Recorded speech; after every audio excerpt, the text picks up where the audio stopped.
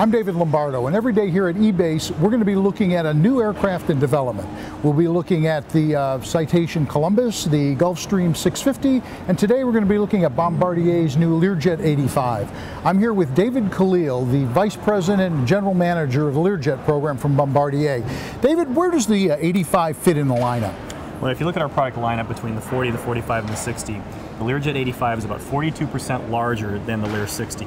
And so it's a nice fit up between uh, the Lear 60 and then our Challenger 605 product. So it's a perfect extension of the Learjet family and a nice transition into the uh, larger Bombardier product lineup.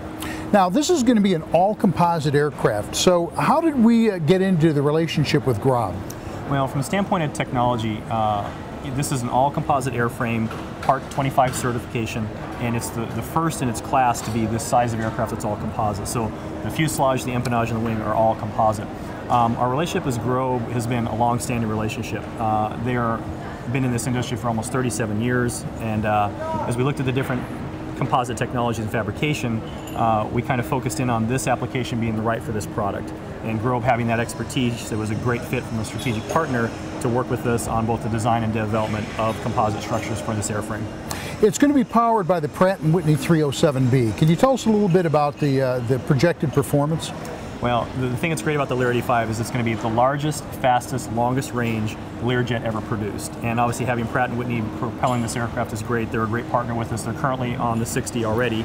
And uh, it's going to be a wonderful product from the standpoint of both range, 3,000 nautical miles, and uh, high-speed cruise at 0.82 What's new inside? Uh, let's start with the cockpit. Anything new there? Sure. Both the cockpit and the interior, uh, we really worked closely with our customer base from the standpoint of understanding what they wanted to see from both uh, an interior styling from the, the cabin itself and the avionics. Avionics is going to be the Rockwell Collins Proline 21, and it's a derivative of, of the Global Vision flight deck in our Global Series aircraft. So synthetic vision, uh, paperless cockpit, all the things you'd expect uh, in a modern aircraft. And what about in back for the passengers? Uh, the back is going to be wonderful from the standpoint of a lot of our feedback from our customers. Uh, more legroom in between seats. It's going to be the largest cabin of a Learjet ever produced and stand-up capability within the cabin. So it's very exciting for our customers. So you've announced uh, you have an order from ExecuJet for six aircraft. Mm -hmm. How are how are the orders going? What's the book look like? What are the delivery dates? You know, for not having like a formal announcement at NBAA until now, we've had over 120 LOIs, uh, letter of intents, and right now we're going back and talking to those customers. We have more information on the product, so converting those customers to purchase agreements. So the the response has been overwhelming from the standpoint of both the Learjet brand and obviously from the, the Bombardier product lineup. Uh, customers are very excited about this product, so uh, the, the, response has been tremendous. When will it be flying? When will it be available for delivery?